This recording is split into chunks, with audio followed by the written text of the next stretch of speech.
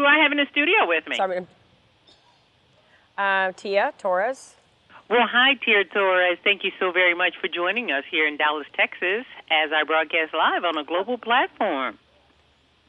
Oh, hi. Okay, I didn't I didn't know where you were at. Now I know you're in Texas. You're almost right next door to us. Uh, that's correct. We're going to talk about where you are because you're in my home state. I want my audience to know that Animal Planet Pit Bulls and Parolees star Tia Torres. She's live on location, uh, and I'm going to say this. I'm not sure. This is Villalobos or Villabosa? Which one? Yeah. You can. It's Villalobos, or if you speak Spanish, it's Villalobos. Ooh, so I like Villalobos. That's a lot easier. Okay. Rescue Center in New Orleans. Okay. It's the largest pit bull rescue center in the United States. Tia, congratulations on that. Well, you know, I don't know if being able to say we're the largest pit bull rescue is something to be congratulated for because I, I you know, my my phrase is we are the largest pit bull rescue in the country, unfortunately. Because Well, I don't some- want to be the largest pit bull rescue. I can You know, understand that, but sad. you know, it's one of those things that somebody's got to do it. Somebody's got to care, and it seems like when I watch you on Animal Planet, you care in so many dimensions about what you do. Well, you know, the thing is that there are so many other great rescues out in this country, and there, there's so many people out there that are doing the exact same kind of work we're doing. The exact. Uh, they're out in the trenches just like us. We just got lucky, and Animal Planet, you know, heard our story and put us on TV, and we were able to use this show to put the pit bull dog in a better light to show um, the other side of what a lot of the a lot of what society portrays them as. So um, I want to say that although these other rescue groups and shelters may not have their own TV show, I'm, I- I'm hoping that we were at least able to pave the way for them and maybe make adoptions, um, you know, easier for them when it comes to pit bulls.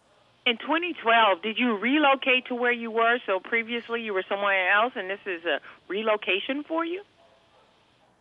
Yes, we started moving to Louisiana in 2011, and um, we it, it was a year-long process. Um, I was the last one to get here um, with the last 50 dogs. Um, I landed here in New Orleans January 1st, 2012, from um, the Los Angeles area uh, in California.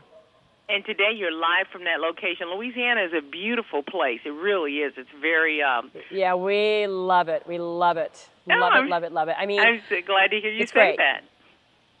Yeah, we you know, and we don't just have a facility in New Orleans now. We have other satellite facilities um, out in the more rural areas, and um, so we, we now kind of have like a we don't just say we're from New Orleans anymore. We have like a South Louisiana location because we do have other locations. What type of work? and I know rescue work. What does it mean when you do rescue work with with any kind of animal? Well, we're talking. We're talking about Well, pit bulls, but what does rescue mean? Right. Well, everybody has their own interpretation of what they consider doing a rescue. For us, it's it's starting at the beginning and seeing it all the way through. And, and starting from the beginning is getting that dog from whatever situation it's in, um, medically getting it up to par, um, behaviorally assessing it properly, um, putting it in a safe and happy environment, um, making sure that the animal, you know, and, and, and adopter match up right so that it is a lifelong commitment. But if it doesn't work out, is committing to that dog. You know, we say it once a Villalobos dog, always a Villalobos dog. We will take our dog back 10 years later. And we've had that happen where someone adopted a dog from us, and 10 years later, um, a tragedy happened with the family, and we took our dog back 10 years later. So that is our interpretation of what full rescue is. Um, You've teamed you know, up with we, the we medically. I'm sorry. You've teamed up with the ASP, No, go ahead. Uh, ASPCA and the and Animal Planet. You guys have teamed up to ama- to showcase amazing shelter dogs. Is that correct? Um, yes, the ASPCA, Animal Planet, and Pitbulls and Parolees want to promote animal shelters and rescues all over the country. There are, and this is just something new I came up with today, the dog of your dreams is absolutely in an animal shelter or a rescue somewhere out there. Every breed, every size, every personality, every behavior you want is out there somewhere. And, um, you know, we just want people to know that. Um, you know, we have a little promotion that we're doing for this Saturday's episode. Um, if you go to aspca.org slash my rescue dog, and you can submit a photo of your rescue dog, and um, we'll do our best to get as many photos as we can on this Saturday's episode.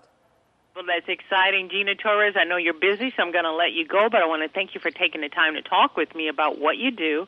And it really is good to connect the TV star with a little bit of reality. So thanks for being my guest on the Valder Beebe Show. Thank you, Valder.